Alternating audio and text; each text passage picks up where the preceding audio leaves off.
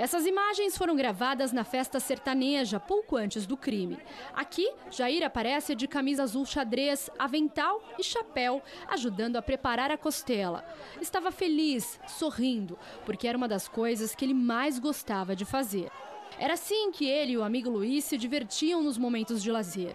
O vídeo mostra a cumplicidade e a alegria entre os dois. São as últimas recordações de Luiz ao lado do amigo, que ao sair da festa foi brutalmente assassinado. Ele era um, como se fosse um irmão. É a única coisa que a gente pode lembrar dele, dele mesmo, as coisas boas. A alegria que ele tinha. É, nunca vi ele trocar um, um, um palavreado de confusão com ninguém. A gente só tem que lembrar das coisas boas dele.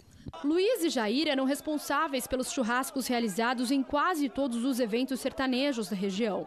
As festas reuniam muita gente, mas o público era quase sempre o mesmo. Tanto é que o pedreiro já conhecia o assassino. Pablo Juan, de 20 anos, era frequentador assíduo desses eventos, mas os dois apenas se cumprimentavam. O desentendimento entre eles, segundo o amigo, começou no fim da festa, na saída do estacionamento. E o Pablo enroscou a charrete no carro do Jair. E parece que eles se encontraram aqui próximo onde foi o crime aqui de novo e começou a discussão onde aconteceu o crime.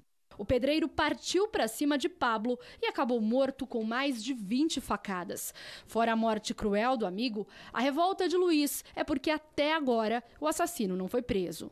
É uma sensação de injustiça, porque a gente esperava que ele fosse preso logo em seguida, porque no dia seguinte todo mundo já sabia quem foi que assassinou o Jair. Nada justifica, né? Um crime brutal que nem foi, mais de 20 facadas, não tem justificativa para isso.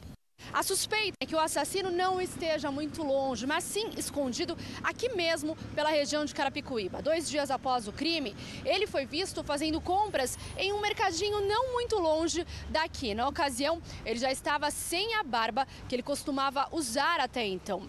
Testemunhas também disseram que ele foi visto pelo menos outras três vezes passando neste condomínio aqui, onde alguns parentes do Pablo têm casa. Também foi por este condomínio que Pablo fugiu após o crime. Segundo a polícia, além de estar sem a barba, o assassino também modificou o penteado para não ser reconhecido. Pablo está com a prisão temporária decretada e é considerado foragido da justiça. A polícia espera que denúncias ajudem a descobrir o paradeiro do dono da charrete. Peço que quem vê ele ligue para a polícia que a gente só quer a justiça. A gente quer que ele seja preso, que ele pague pelo crime que ele cometeu.